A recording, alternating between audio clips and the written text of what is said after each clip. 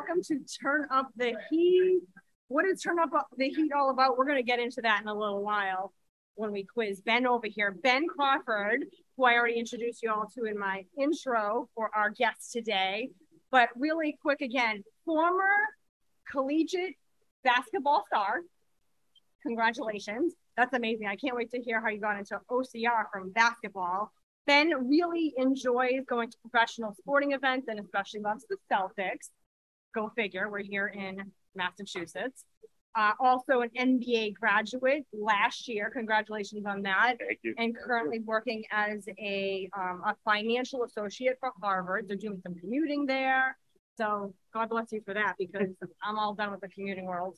Um, and then, so what I love about Ben and why I really wanted to have Ben on our show today is because he is climbing the OCR world fast and furious.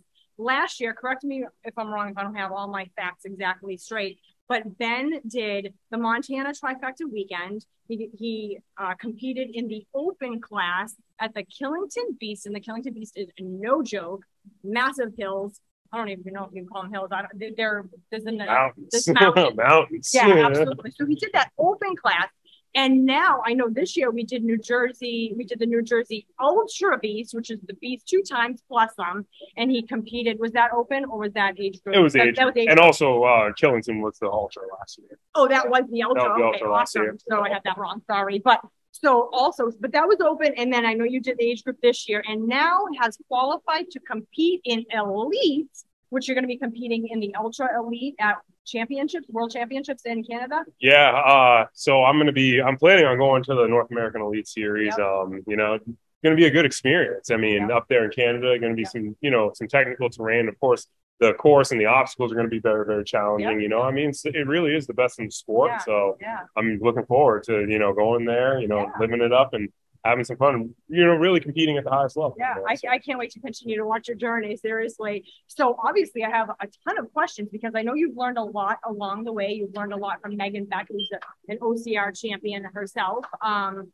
and then, I mean, what was the catalyst that got you into OCR? You're a basketball star. I understand athlete, right? So you want to do something maybe maybe athletic, and that got you into OCR. But I don't really know what got you into obstacle course racing. Honestly. Um, so I went on a date with a woman two year about two years ago.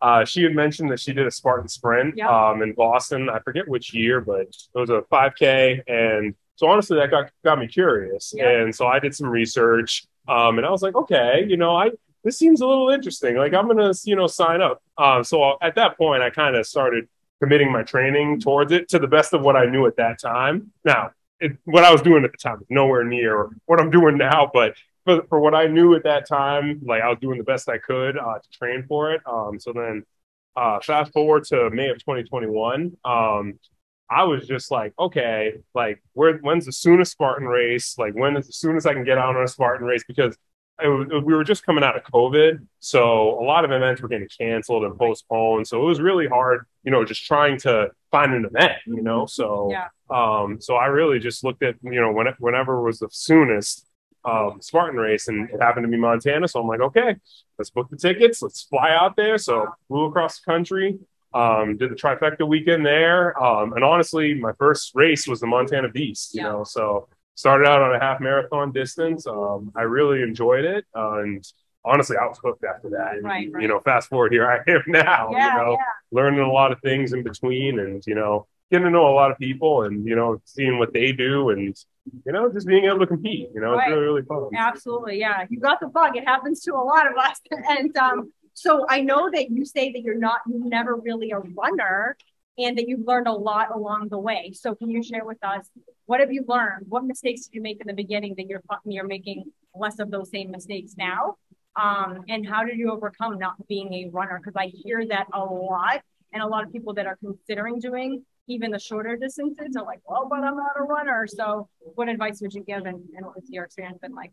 yeah certainly um so in my experience like i mean i come from a basketball background it's more kind of like interval kind of sprints you know and then you have stoppages because you have fouls and um stoppage of play but I'm I've never been a natural runner. Um, anything that I have, you know, gained from running, it's really just because I've been working on it of late. Um, and you know, like you can definitely, you know, enhance your running ability, you know, with the right training and the right practice, and also even just, you know, getting to know the right people. Um, we have great coaches. I mean, here at Castile, here in Lawrence, Massachusetts. Um, I did even some research online. I've even talked to some other people that, you know, are ranking high in age group and even some in elites and taking advice from them in terms of how to um, enhance my running ability. And, you know, I'm just putting, you know, just taking bits and pieces from different people and putting it all together. And, you know, I'm seeing some improvements, you know, so, you know, I'm just going to keep on, keep on keeping on and onward and upward.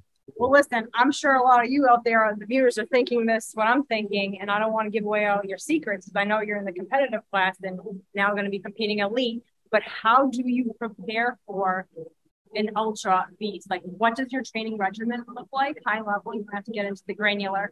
But what is what is your general weekly workout plan? I know we're here at this wonderful facility, um, Fitness Appeal in Lawrence, Massachusetts, that Coach Victor runs. Um, we have our obstacle courses. So sports specificity, you're going to be on obstacles. You better practice some obstacles, right? But what are some other things that you do in your training? Definitely. Um, so I like to incorporate many different things, but I'd say the priority within my training is definitely getting my miles in um, and getting my running in. I run about six days a week.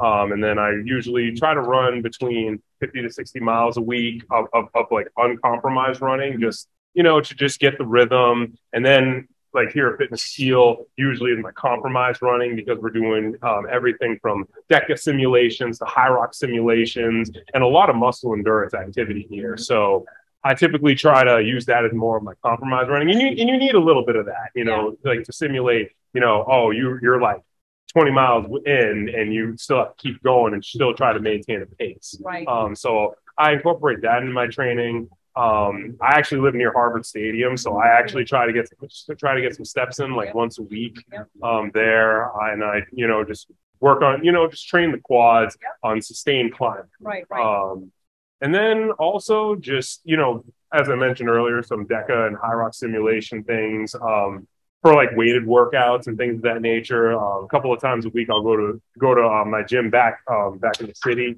and I'll you know do like strength and power work like ram burpees, uh, push ups, pull ups, like body weight kind of exercises that work on, you know, strength and power um, and functional, functional OCR strength, you know, um, things of that nature. So I'd, I'd say like that pretty much kind of encompasses my training. And then, you know, there are always the one offs, you know, like somebody might be like, Hey, Ben, let's go, you know, for a trail run or Hey, let's go for, um, you know, a quick you know, five mile run or something like that. You know, there are some one offs, but I'd say like consistently, um, you know, I stick to more of the Hyrox DEKA simulation, right. running and stadiums. Kind of. Right, right. Simulation is everything. Being able to not just go to a whole bunch of miles and not just be on the obstacle course, on the obstacles, um, not just doing weights, but putting it all together because that's really simulating what a race is really like.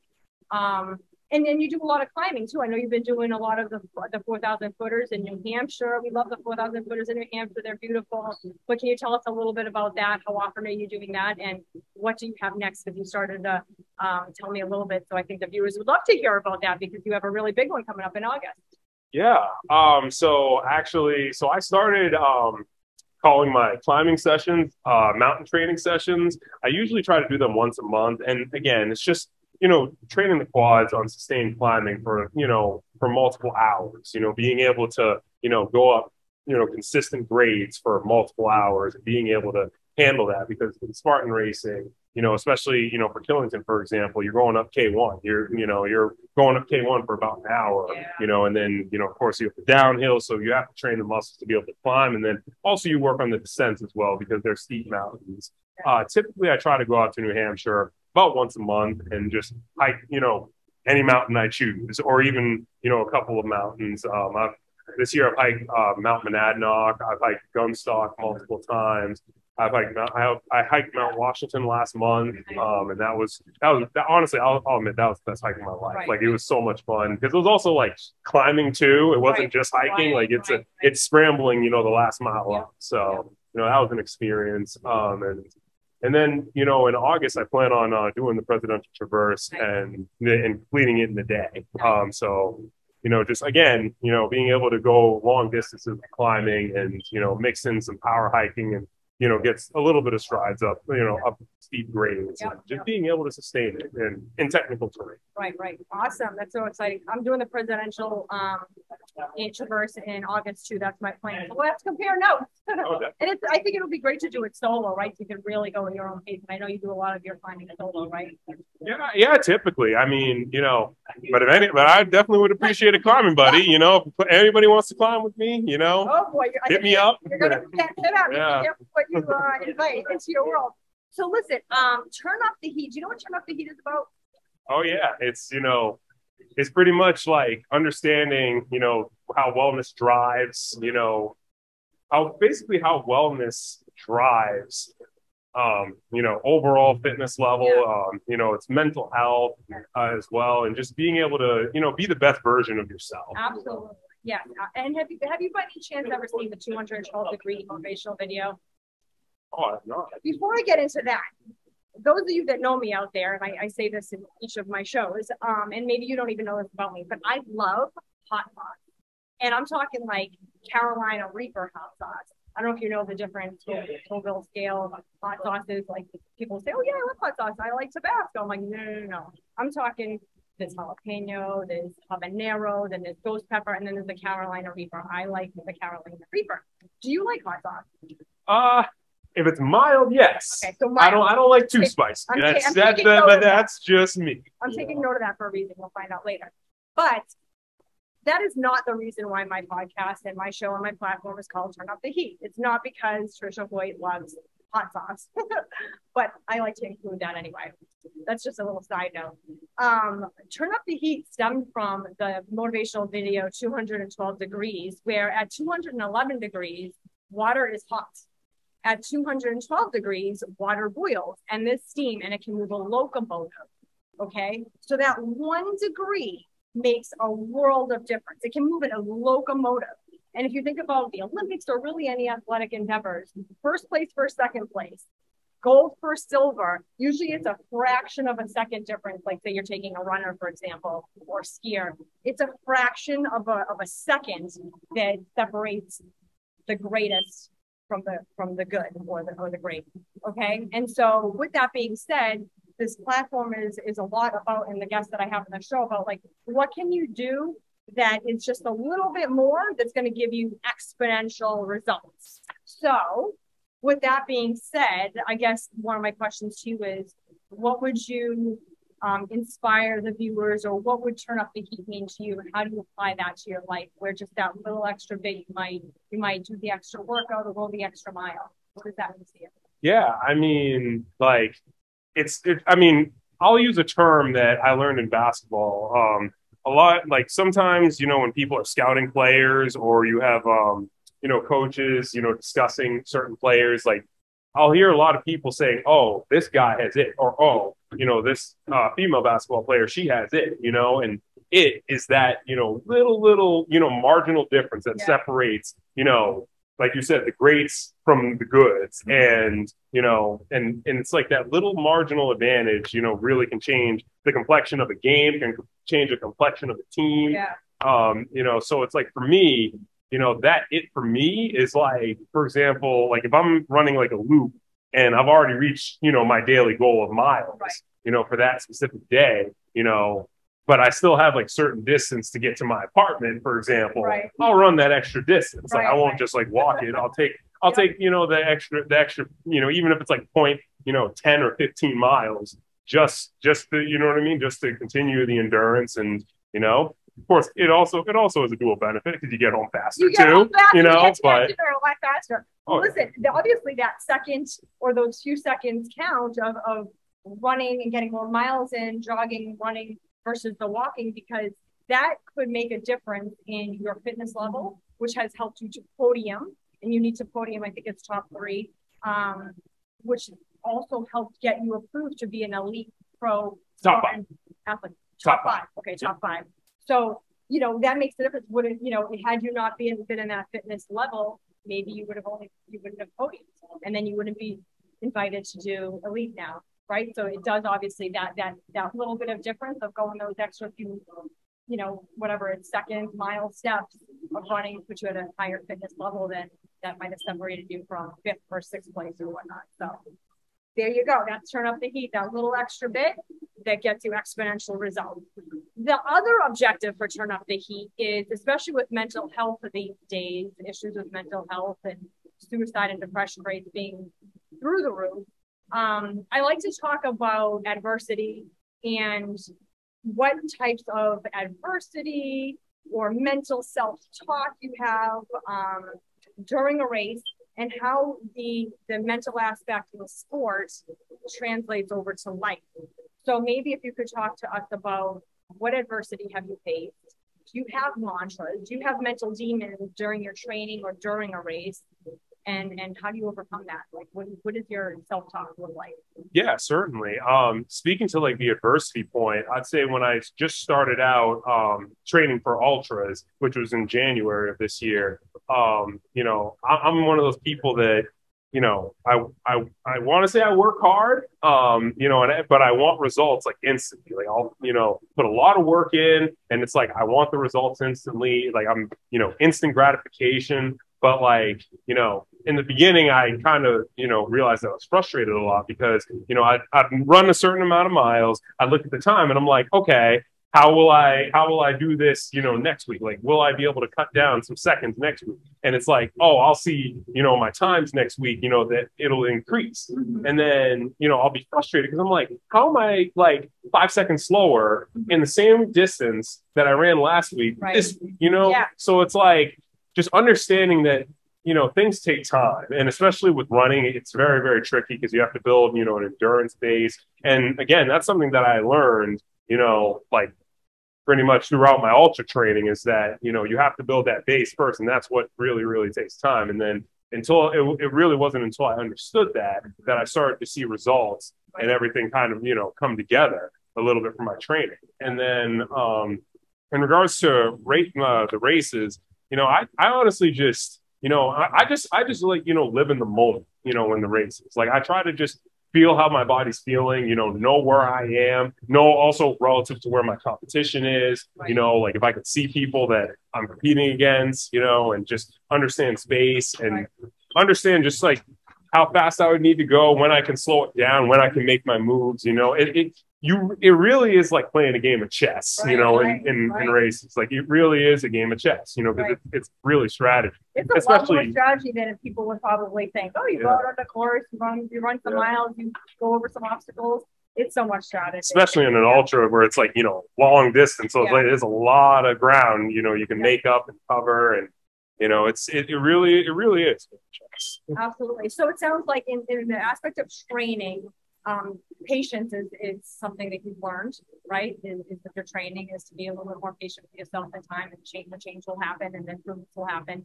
And then as far as racing goes, being present and aware. So it has have you found that that have you used what you've learned in, in training and racing and applied it into real life? You're a successful um, collegiate, former collegiate star in basketball. You're a professional now at Harvard do you apply what you learn in training and racing to your everyday life? Yeah, definitely. I mean, I so uh, one of my friend's uh, fathers, when I was younger, um, we were hanging out all the time. He mentioned um, to my friend and I, you know, a quote like saying, you know, the three P's, you know, passion, purpose, and persistence. And you know, that's something that's really resonated and stuck in my head. You know, as I've gotten older, yeah. you know, matured. And, you know, that's just something I try to keep in mind in anything that I'm passionate about, whether, you know, whether it's OCR, whether it's my career, you know, whether it's, you know, just even my overall lifestyle, you know, like just, you know, like whatever you want, go for it, you know, 100%, you know, be persistent, you know, and, and really, you know, be resilient too. You know, they're, you're going to go through adversity. You're going to go through ups and downs. There's going to be tough times, you know, but, you know, it's again, that 1% of the people that are resilient, you know, they're going to probably get the result that they want, you know, so I just try to keep that in mind, just keep that perspective and point of view. And, you know, that kind of is what, you know, pushes me forward. Awesome. Thank you for that insight. And I'm going to, and I'm going to think of that when I'm having my hard days because we all have our hard days and, and seasons for sure. And sorry about the, the cleaning they we keep it very clean here at Fitness Appeal. So they're starting to do the cleaning after we've had some classes. So I might have to move a little bit closer to the computer because we do have a couple more questions. Um, all right, I can't it would be remiss for me to not talk about nutrition, especially as there's um, especially because I'm sorry, Ben, but there's just some advice that I don't know that I would take from you, but I'm willing to try anything because I am a pretty adventurous person. But this guy over here, when I was starting to do my ultras, I was trying to get advice from him. And during the transition, after you've done half of an ultra, you get a quick break, and that's called transition. You can eat, refuel, go to the bathroom, change your shoes, whatever. Well, he eats what do they call it? Cinnabons? Cinnamon rolls. Cinnamon rolls. I'm like, I'm not doing that. All right. I'm not ready for that. I'm not saying I won't try that someday, maybe during a training run and like, you know, instead of experimenting during a race. But can you please share with me? I know, I know, is it Megan Beck? Right? Do I have her name right? Yeah. Yeah. yeah. I don't think Megan Beck gave you that advice. I think she gave you some nutritional consultation, but I don't think she told you to have cinnamon, cinnamon rolls or whatever. So where did you get that from? Honestly, um, honestly, it actually came out. For cinnamon buns. So it actually came out kind of um, at random. So I was running one day, like, or I was going to run one day, um, but I was actually in the office uh, working, and uh, some of my colleagues brought me some cinnamon buns to my office. So I was like, okay, I have to run and I have to run pretty hard. Like, you know, it was, it was a tempo day, it was a speed day. Um, so I had to run pretty hard, you know, and like three hours. So I'm like, okay, um, should I do this? Should I not? So then I I couldn't resist. Like I, I I gave in, you know, and I ended up eating like four cinnamon rolls, you know, three hours before I ran. But I know where he's going with this. But it was three hours before, so it had a little bit of time to sit and I ended up actually running really, really well. Like really, really well. So from that point on, I was like, okay, you know, let's try it. So then I did it again for another tempo run, and then I did it for a long run, like a couple of weeks later, and I ran well all those days. So I'm like, okay, you know, my body, you know, my body knows it. It's, it, you know, it's all about familiarity. Yeah. And especially in an ultra, you know, when it's transition, you know, and you're like, you know, you, you're kind of you're not really thinking. You're more like reacting. You're like, right. okay, I'm in transition. You know, right. let's drink something. Let's eat something. Yep. You know, let's pull something. Let's grab something. Right. You know, so it's really just, you know, what is your body familiar with? Know like what you, what it can and can't take. Right. Know what you can and can't eat. You know, in yep. certain athletic activities. You know, whether you're running hard, whether you're running, um, you know, fast. You know, whether you're running slow. Um, and just just know your body you know. Right. But for me, I just like cinnamon rolls just because one, they're good. Everybody loves them. You can't resist. But it's also like two, they give you a, there's a lot of carbs in it. Yeah. So it's like energy, and especially in an ultra, you're going to end up burning it off right. probably within the next, you know, few miles yeah. out of transition yeah. anyway. You know, so it's like it gives you kind of that extra jolt. But that's what it did for me in my training runs. So you know, it kind of translated over into New Jersey when I did New Jersey as well. So it, I'd say it definitely helped me out. Oh my gosh. All right. Yeah. I could be really impressionable. I'm gonna have to try this someday. I don't know. Just you know, I'm not gonna experiment during during an ultra, but if that's what your body knows, that's awesome. The less decision you have to make. So if you know that your body reacts well to them, then I, I, I guess if I were you, I would do the same thing. But that's just, but but also that's just that's just in the races. You know, that's not outside. That's not every day. That every day. That's not every day. Right. You know, you lifestyle. Yeah. Racing. Awesome. Awesome. Should we get into really quick high level? How is your nutrition? Yeah, my nutrition's really, I'd say it's really, really good. Okay. Um, I, I really do try to get a lot of fruits and vegetables mm-hmm. every day. Um, you know, and of course protein, you know, yep. for, you know, for my strength workouts, help my muscles recover. Um, and I do drink a lot of water. I mean, it's also hot this summer, yeah. very, very hot. We just yeah. came out of a heat wave. Yeah. So, you know, I'm really drinking water like crazy, right. but you know, I really, I really am, you know, focused on, you know, my diet and stuff and making sure I'm putting the right things in, you know, consistently to make sure I can get the best results out of it. Absolutely. Awesome. Awesome. And um, sleep recovery, are you paying attention to that as well? Do you take that very serious or? Yeah, definitely. I know I when you were getting your MBA, you weren't. It sounds like you were only sleeping a couple hours a night last year in 2021.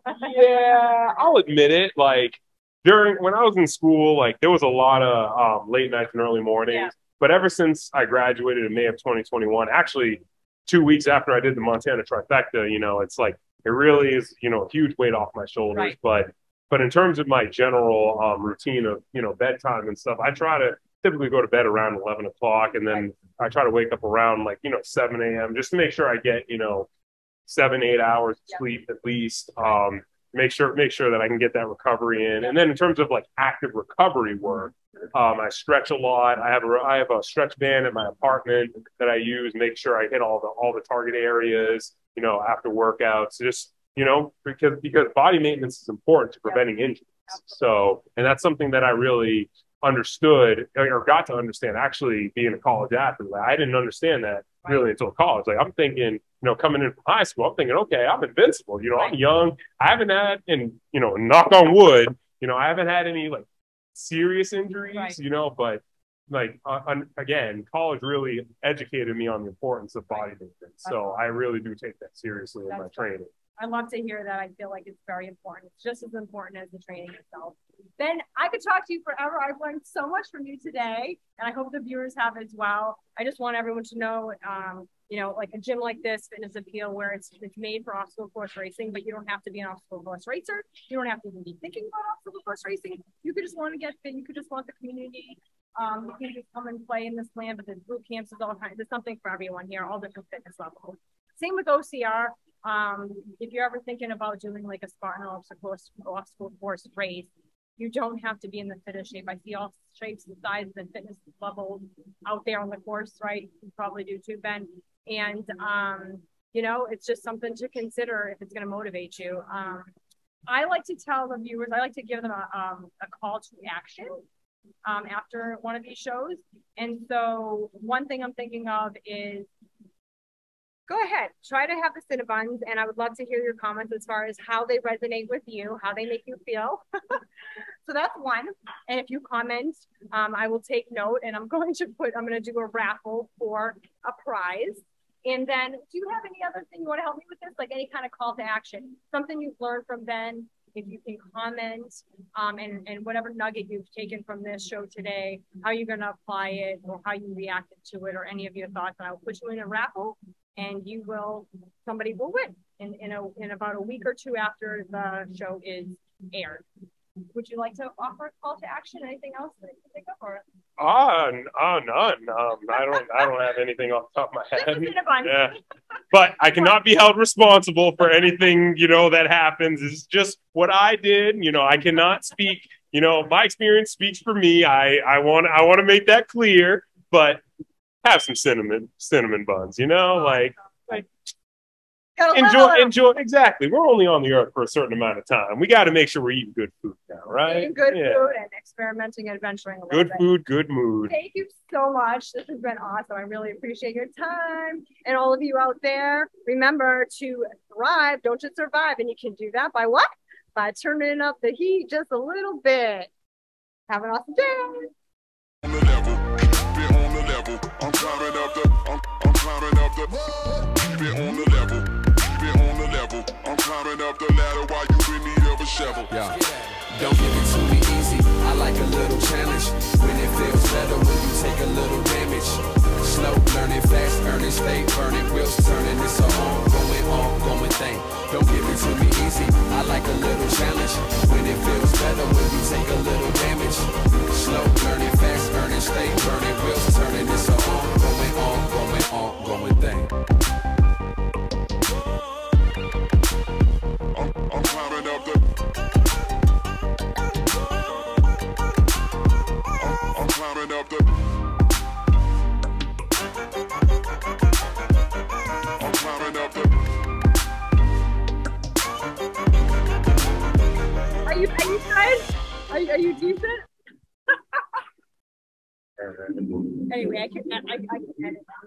all right. I just, you know, I, editing. I, I still, you know, we still got to, you know, make sure it's professional, you know, like.